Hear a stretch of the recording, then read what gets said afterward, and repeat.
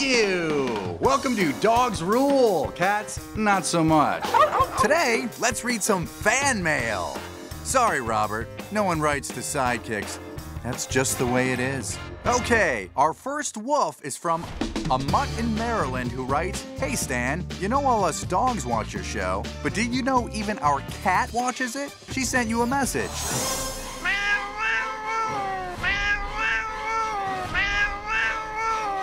What? What? Did you hear that, Megan? The cat loves me, not you. Well, it seems I'm just more lovable.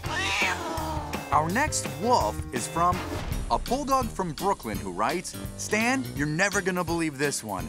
Our cat is your biggest fan. Check this out. Uh-huh, right. Oh, okay. Well, it's a good thing I speak cat. Let me translate. She thinks I'm funny. Uh-huh. All the cats are watching my show. Fantastic. She started a fan club. Megan, are you seeing this? Hey, don't be mad that cats love me more than you. Maybe look within yourself and become more lovable. Cats love you too, Robert. You know, to chew on. Speaking of chew toys, who's ready for today's cat fail? Okay, you got it.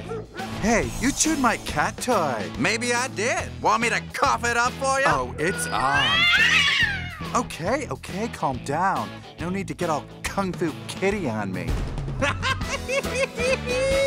That's our show. Lates. That means later.